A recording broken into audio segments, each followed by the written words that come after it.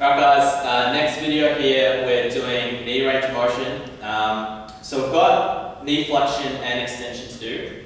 Now for your practice exam, all the range of motion measures you guys will do will be active. The only exception is for knee extension, we're going to show you the passive version as well. Okay, so we'll start with knee flexion first. We've got Jack in prone position, so he's lying face down. Um, the three landmarks that we need for knee flexion and extension now fixed arm is going to be along the axis of his femur. The axis of rotation is going to be the knee joint center, so we tend to use the lateral epicondyle as our marker. And then our movable arm is going to be, be along the axis of his lower leg, so pretty much along that line of the fibula, which is obviously on the outside of his lower leg.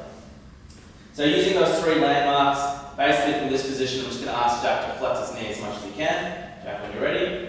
And then using those three landmarks, that I've identified. I'm going to take a measure here, pull that off, and just relax in there. Now I've got two values here. I've got about 60 degrees and 120 degrees. Um, we know that line full knee extension is anatomical position, so that's zero, which means this is 90, which means this is more than 90. Okay? So I'm going to go with a bigger value here and accept 120 degrees as my now for knee extension, I'm going to get Jack to line on his back. Now for this one, I'm actually going to get Jack to start with his hip flex at um, 90 degrees. So it's pretty much his thigh just wants to be pointing straight up and down. Um, I'm going to get him to keep his ankle plantar flex as well throughout. That just helps stop the gastroc from limiting. Usually when we do knee extension, trying to make our hamstrings a limiting factor.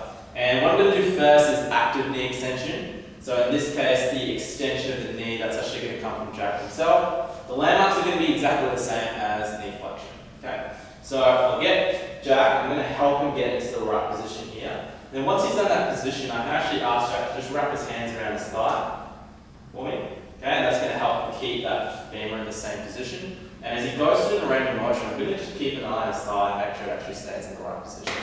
Alright, so Jack, when you're ready, um, just extend that knee. Once he's in that top position, I'm going to make sure my landmarks line up. Nice and good.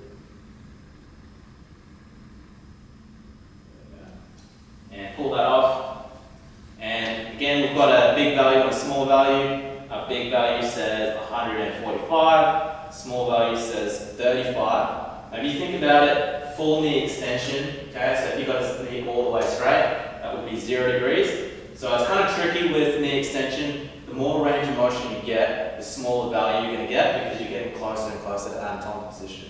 So in this case, we're going to accept the smaller value, and that's going to be 35 degrees. Okay. Now, with knee extension, um, this is one of the circumstances where using an inclinometer can actually be really useful, especially when it comes to passive knee extension. Okay? So I'm actually going to sub this going goniometer out, and I'm going to grab myself the inclinometer, Okay? So when we do passive knee extension, I'm actually going to move his uh, knee through the range of motion myself, and it's a lot harder to actually control the goniometer when I'm doing that. Using the inclinometer is going to make things a lot easier. Okay? So we're actually going to get Jack to go in the same position as before. He's going to get his thigh to 90 degrees. I'm going to help guide him there. He wraps his hands around his thigh to hold himself in that position.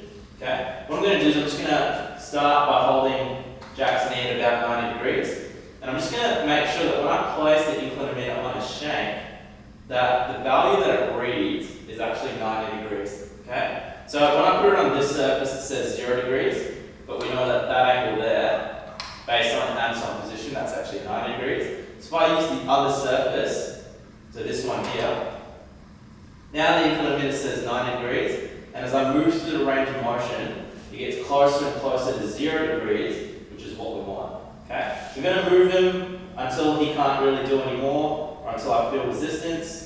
Okay? And then I can look at the value there, which here says 40 degrees, which is pretty close to what we got with the active knee extension as well. So that gives me a little bit of confidence that I did everything right. And that's how we do knee extension. That was the passive version. We did the active version before with the goniometer, and we did knee flexion as well. Now keep in mind, I've shown you passive knee extension with the inclinometer. Um, you are allowed to use the goniometer as well if you want to. It's not going to really affect your marks, just that the inclinometer is going to be easier for you guys to use.